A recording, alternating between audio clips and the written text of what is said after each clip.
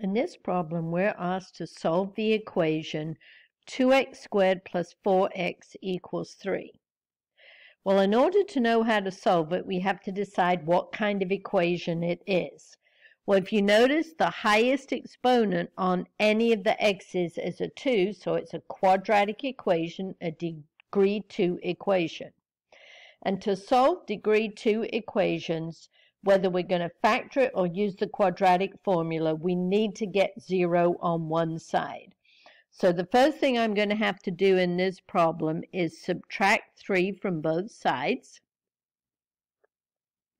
So I get 2x squared plus 4x minus 3 equals 0. Whether I'm going to factor this equation or use the quadratic formula, I want to compare it to ax squared plus bx plus c equals 0. For our case, a is the coefficient of the x squared is 2. b is the coefficient of the x is 4. And c is the constant term. So if I want to try to factor it, what I have to do is multiply a times c. So that's 2 times negative 3, which is negative 6.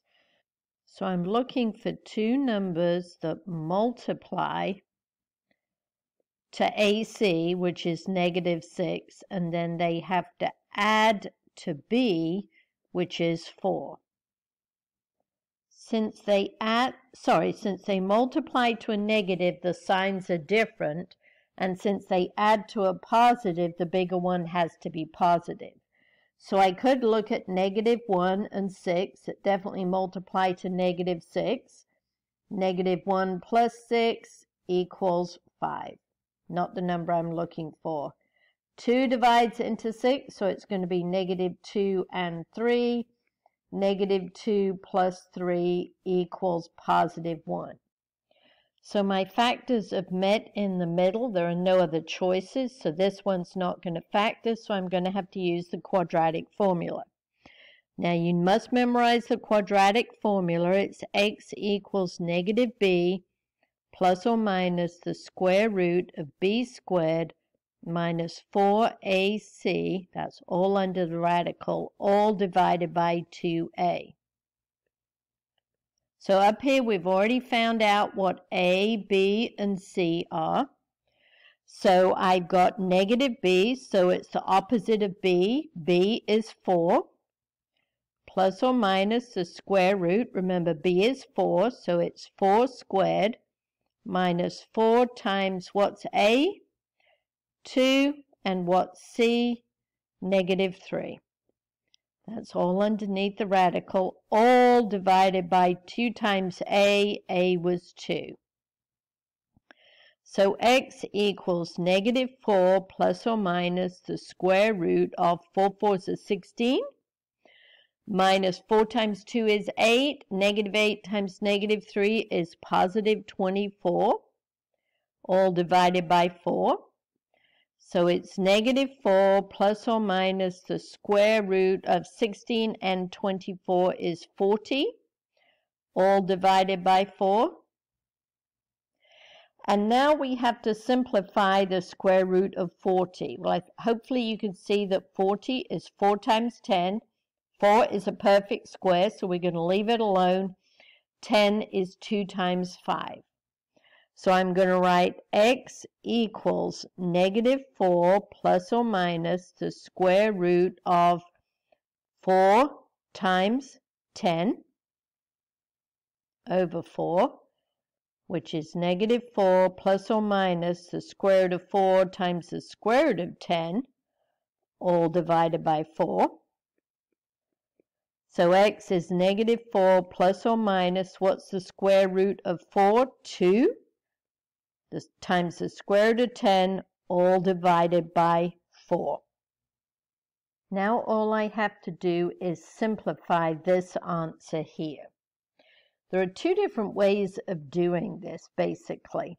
If you notice, this term, this term, and this term are all divisible by 2.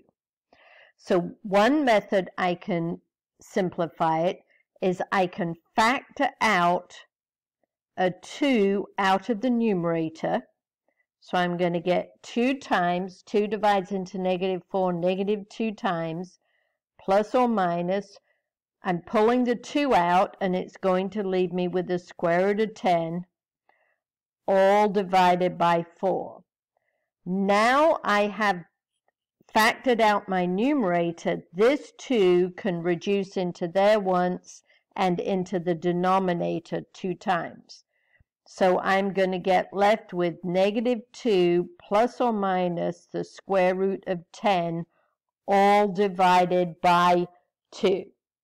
So that is one way of writing the answer. If you wanted to break it down into its two separate solutions, you'd write x equals negative 2 plus the square root of 10 over 2, and x equals negative 2 minus the square root of 10 over 2.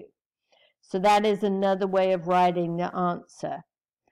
Or another way of simplifying this expression here is to break it down. And by that I mean is you're going to take negative 4 and divide it by the denominator 4. And then I'm going to have plus or minus 2 the square root of 10 divided by 4.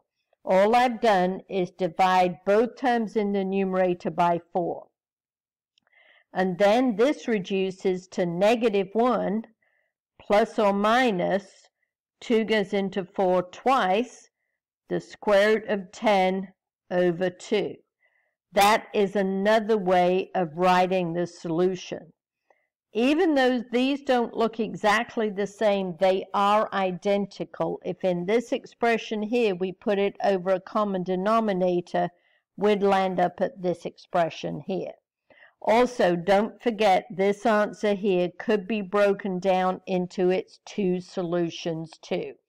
Negative 1 plus the square root of 10 over 2 and negative 1 minus the square root of 10 over 2.